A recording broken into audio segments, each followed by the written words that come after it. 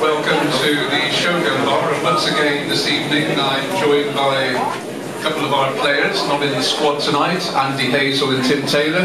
Both, of course, played a very prominent role in that quite amazing match to Welford Road on Saturday. For the last couple of weeks, or the last couple of matches of this season, I don't want to do all the asking the questions. So if anybody out there has a question to ask, please ask it. Stick up your hand when I ask and I'll bring the microphone to you. Now if when we do normal answers, questions and answers, nobody asks a question until we're just about to go home and then a hundred hands go up. So after that fabulous match, two of the players who took part are here. I'll ask you for questions in a minute, but let's just uh, welcome Andy Hazell and Tim Taylor. Andy, you had a bit of treatment on Saturday on the pitch. You went off looking absolutely knackered. Are you fit and will we see you on Sunday? Uh, Michael. Yeah. Um, no, I'm, uh, I'm, hello. I, I was pretty tired, sort of, in the game. I played for a few weeks, so it, it, it, took its toll really, and it was a it was a pretty physical game and pretty loose, as I'm you've seen on the TV. Was that the overall impression that uh, you, you, know in certain quarters our defence, Leicester's defence has been questioned? Was it just a, an attacking situation, nice weather, nice pitch? Um, and both sides had a go. Obviously, it was uh, helter skelter right from the first whistle. Yeah, I mean, we, we worked on our defence in the week prior to, to the game. Um, we didn't want to leak that many tries, really. Uh, but you when you've got people like Tuilagi running into holes, if, he catches an arm, he's going to go through the arm tackles, really. So, yeah, we there's a lot of new combinations, so that makes a difference, sort of, to the to the game and, and just just for the partnerships, really. Tim, you came on when unfortunately Ollie Morgan did his shoulder in again. Slotted into fullback, which you did at Exeter and one or two other places. Is that a position you've played in a number of times, and is it really interchangeable with fly half?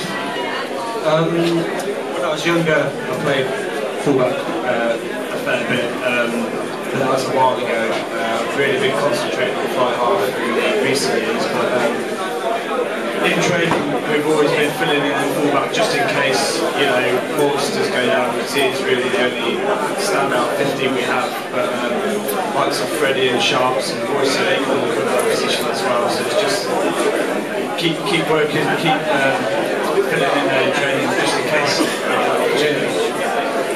On Saturday, what was the feeling on the pitch? Um, you were holding out for the two bonus points. What was the feeling when you actually saw Ellie bursting away? Total relief, elation, or what? Tim, if you like.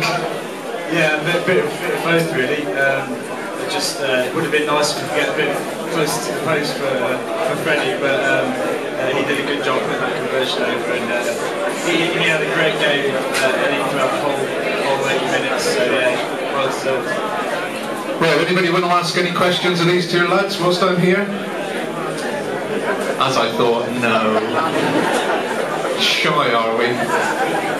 So, Andy, you played Saturday. Today's only Tuesday.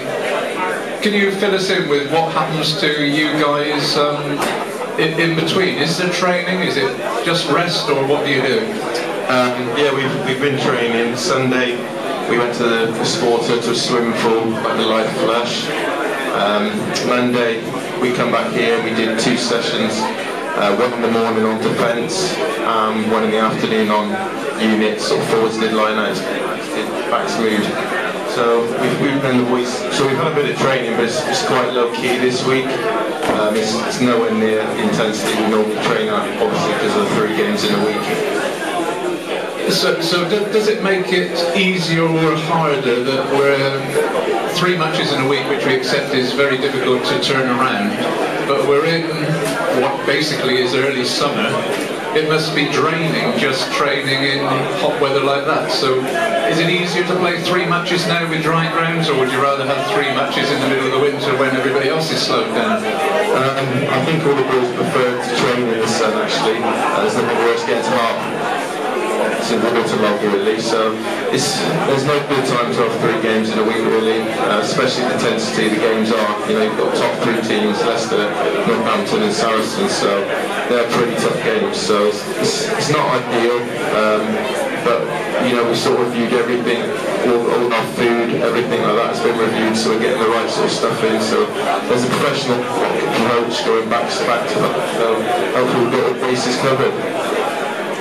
Right, well let's talk about Northampton. Tim, Northampton have named the side which, in a way, could be compared to the side that Gloucester named to go to Leicester.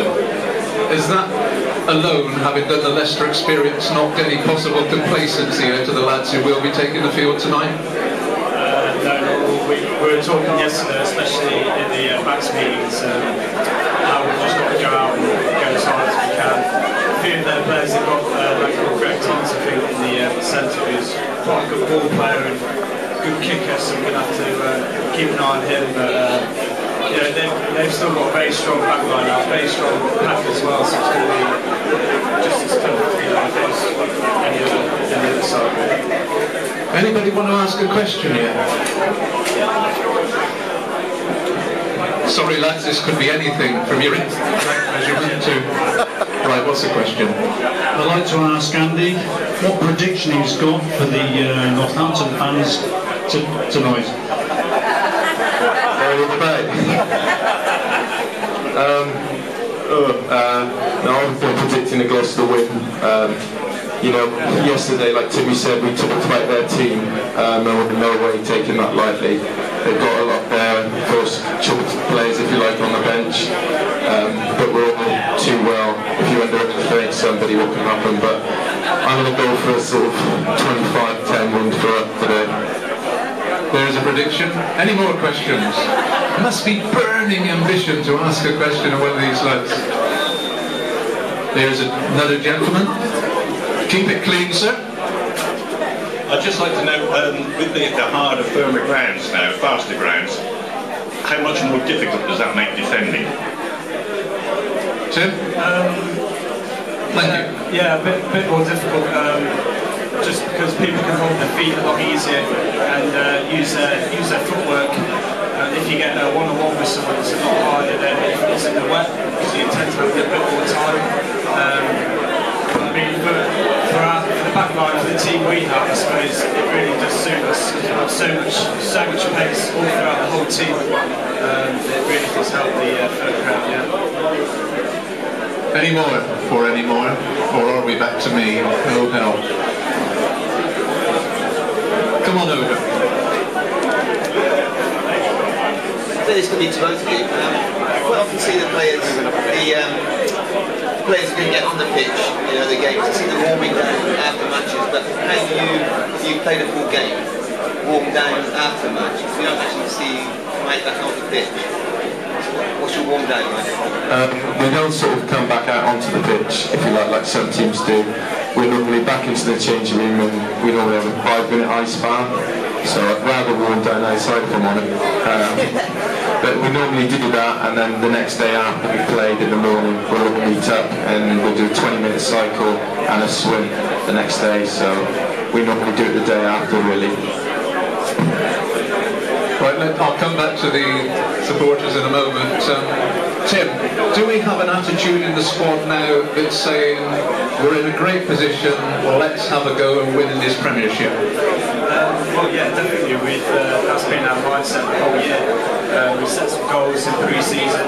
One was to win silverware, which we've done. The other was to uh, get the top four place, which we're on track to do at the moment. Um, yeah, definitely through the whole team that we can, can go out there and win the Premiership. And Tim, if we do win tonight, with Saracens coming up on Sunday, they then finish at Harlequins, we're at home to Sale. Second place is still possible, isn't it? Um, yeah, definitely. I think we're only a couple of points behind Sarah, so um, they're playing very good rugby at the moment, and um, so it's going to be a tough game down there on Sunday, uh, especially with two games we've just had. Um, definitely yeah, going down looking for that win again, that home. Yeah. Andy, we Saracens on Sunday. Um, to my mind, along with Adams Park, the worst ground in the Premiership.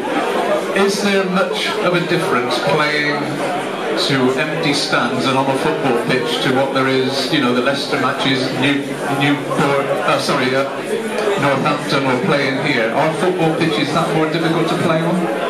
Um, I mean, the, the actual pitch is really not at Saracens, so playing actually playing on it. So sorry for the spectators and the commotions that go on, but no, it's a nice pitch to play on, and it doesn't really matter. As soon as the game starts, you sort of blank out all the noise anyway, really, um, especially away. So it's, it's, it's just another game, really. I know some people say, what's different about playing away? We just try to play our normal game. Um, but sometimes things don't go your way, maybe there's a long rep and things like that. So we've just got to concentrate on our own performance. So the match at Saracens could determine whether we finish second or third does it matter to you if you are away whether you get uh, Leicester or Saracens? Um, I suppose if, if you want to win the Premiership title, you've got to be able to beat anyone, really. Um, so that's that's the way I'm looking at it. Um, you can't really fear no one if you want to be the best. So that's the sort of attitude we've got to take, really. And uh, hopefully, you know, we've, we've, got a big game tonight that we've got from, and then we'll look to Saracens because Bryan, uh, Bryan gets pretty annoyed now when we start looking forward. just come tonight first. Anybody else want to ask these questions? Anybody? You on another one? My God, you you can come every week. I know that uh, players have played lots of money, but how many have actually decided to tip the balance that they know that the, the Gloucester fans are behind them and it's made them sign for the next season?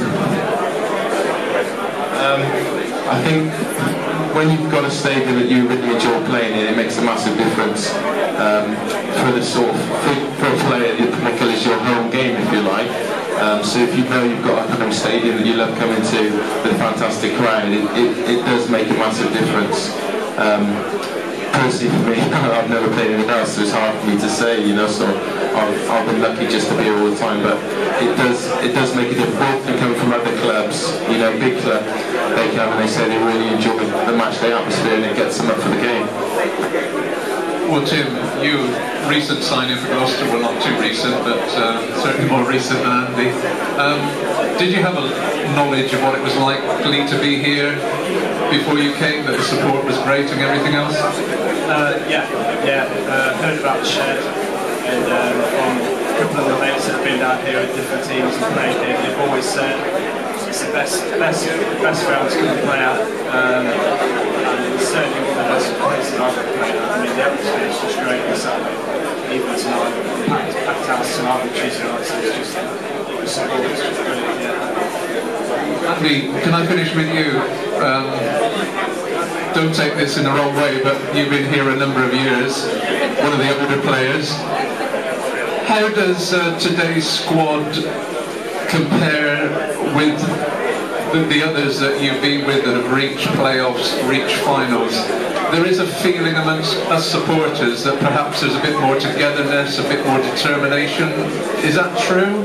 Um, I think, yeah, I mean, it's easy to say that every year, you can say it, but, you know, right from when we come back from pre-season, Bryan was determined to make that our main goal. He doesn't care what the names were, he, he was going to make us a squad and, and a tight group of individuals, really.